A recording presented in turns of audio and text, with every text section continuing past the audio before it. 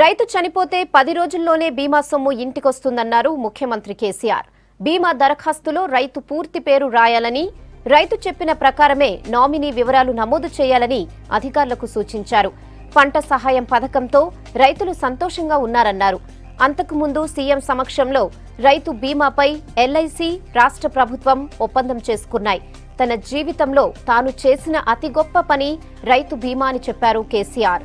పద్దెనిమిది నుంచి అరవై ఏళ్ళలోపు రైతులకు బీమా వర్తిస్తుందన్నారు.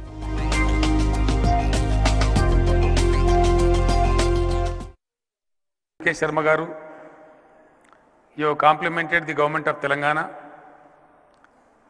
and I thank you for having said a few good words about me so you understood the spirit and you made a very very good promise which will really instil lot of confidence among the farming community of Telangana ప్రపంచంలో ఇండియాలో కాదు యావత్తు ప్రపంచంలోనే అతిపెద్ద బీమా సంస్థ మన LIC చాలా గౌరవం మర్యాద రెప్యుటేషన్ ఉన్నటువంటి సంస్థ.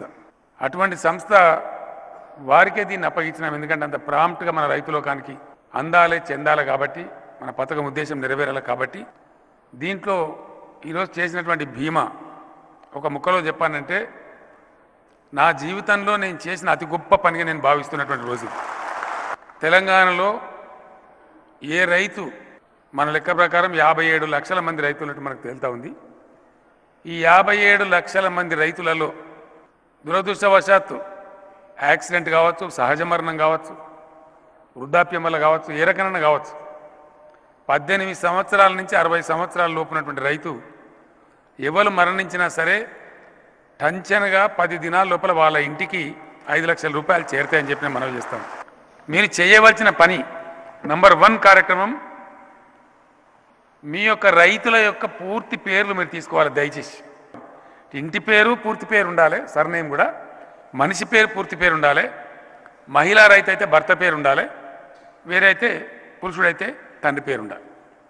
ఖచ్చితంగా వీళ్ళ సెల్ నెంబర్ కూడా ఉండాలి.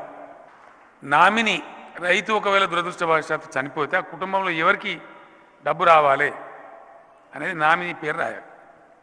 భార్య పేరు రాస్తాడా కొడుకు పేరా కోడల పేరు ఆయన ఇష్టం రైతు ఇష్టం. ఆయనకే వదిలిపెట్టాం మనం. ఆయన తర్వాత ఆయనలాగా కుటుంబాన్ని సంరక్షిస్తూ ఎవరు ఉంటారో ఆయన కుటుంబంలో ఆయనకే తెలుస్తుంది కాబట్టి అది ఆయనకే వదిలిపెట్టాం ఛాయిస్ మనం. భార్యకి ఇవ్వాలి పలానాలకు ఇవ్వాలని మనం చెప్తలేం. కాబట్టి ఆ నామినీస్ యొక్క పత్రాలు నింపి మీరు తొందరగా పంపి చేయాలి. చేసిన తెల్లారే ఇమీడియట్గా ఎల్ఐసికి మనం డబ్బు కట్టేస్తాం. పదిహేను ఆగస్టు నుంచి ఈ స్కీమ్ అమల్లోకి రావాలి. ఫిఫ్టీన్త్ ఆగస్టు తర్వాత ఈ రాష్ట్రంలో రైతు చనిపోతే టంచన్గా ఆయనకు ఐదు లక్షలు ముట్టాలి వాళ్ళ కుటుంబానికి. ఇది మనం తీసుకుంటున్న ప్రతిజ్ఞ. ఎనభై తొమ్మిది మంది శాతం రైతులు రైతు బంధు స్కీమ్తో చాలా సంతృప్తిగా ఉన్నారని చెప్పి వారు ఈరోజు హిందూ పత్రిక వాళ్ళు రిపోర్ట్ చేసినారు. డబ్బున్న వాళ్ళను తీసుకోవద్దని చెప్పిన నేను. చాలామంది తీసుకోలేదు నేను కూడా తీసుకోనని చెప్పిన. రైతు బంధు పథకం తీసుకోలే. కానీ రైతు బీమా ఉన్నది అది నేను తీసుకుంటా అని చెప్తా ఉంది ప్రతి ఒక్కరు కూడా తీసుకోవాలని చెప్తా ఉంది డబ్బు రూపంలో చూస్తే నాలుగు వేల తొమ్మిది వందల యాభై ఆరు కోట్లు చిన్న సన్నకారు రైతులకే పోతుంది రైతు బంధు యొక్క ఉద్దేశం ఏంది? అన్ని రైతు కుటుంబాలు నాకు తెలిసి తొంభై తొమ్మిది పాయింట్ తొమ్మిది పర్సెంట్ రైతు కుటుంబాలు మీదికి చెల్లేసుకొని తిరుగుతాం ఏదో ఇజ్జత్కు. వెనుక మరి చూస్తే అన్ని అప్పులే ఉన్నాయి. ఆ బాధపోయి రైతు పెట్టుబడి కోసం వెతుకని రోజు రావాలి తెలంగాణలో. ఆయన పెట్టుబడి ఆయన పెట్టుకునే పరిస్థితి రావాలి.